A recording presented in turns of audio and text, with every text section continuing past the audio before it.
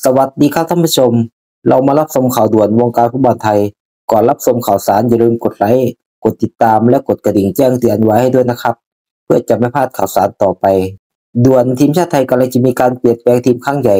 หลังจบเกมกับสิงคโปร์ในการคัดฟุตบอลโลกรอบคัดเลือกนัดที่สอง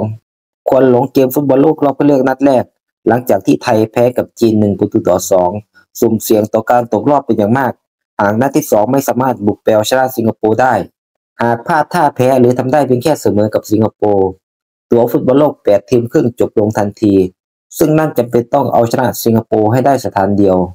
ขณะที่สิงคโปร์นัดนี้พวกเขาก็แพ้ไม่ได้เช่นกัน หากแพ้ขึ้นมาพวกเขาก็ตกรอบทันที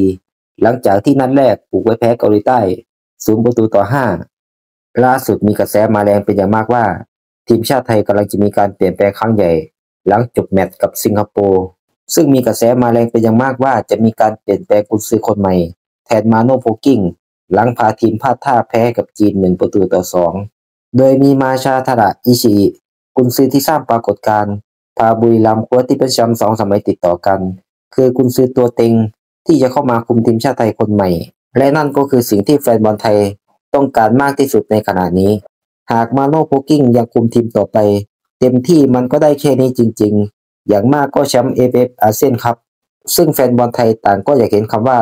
ก้าวข้ามอาเซียน หากมาโนโพลกิ้งต้องการจากแบบให้คนคิดถึงเกมกับสิงคโปร์ต้องสามแต้มเท่านั้น โดยมาโนโพลกิ้งตั้งแต่คุมทีมชาติไทยมา โดนคู่แข่งนำก่อนถึง 13 ครั้ง และไม่สามารถพลิกกลับมาเอาชนะได้เลย แบ่งเป็นเสมอ 7 ครั้ง และแพ้ 6 ครั้ง ซึ่งบ่งบอกว่ามาโนโพลกิ้งเป็นกุนซือที่แก้เกมไม่ได้เลย หากลูกทีมโดนนำก่อน ทีมชาติไทยงานเข้าก่อนนัดชี้ชะตากับสิงคโปร์ในวันอังคารที่ 21 พฤศจิกายนนี้ โดยนัดนี้ไทยเราจะหมดสิทธิ์ใช้งานสองผู้เล่นตัวเก่งของทีมอย่างพรรษา เหมวิบูลย์เซนเตอร์แบ็กตัวเก่งของทีม และชนาธิป สรงกระสินธ์เพลย์เมเกอร์ตัวเก่งของทีม หลังจากที่ได้รับอาการบาดเจ็บในนัดที่แล้ว ต้องพักอย่างน้อยถึง 3 สัปดาห์ หากมาโนโพกิ้งต้องการจากสั่งลาแบบให้คนคิดถึง เกมกับสิงคโปร์ต้องเอาชนะให้ได้สถานเดียว หลังจากไม่สามารถพิสูจน์ตัวเองได้ ในระดับเอเชีย และเพื่อนๆล่ะครับ มีความคิดเห็นยังไงสำหรับคลิปนี้สวัสดีครับ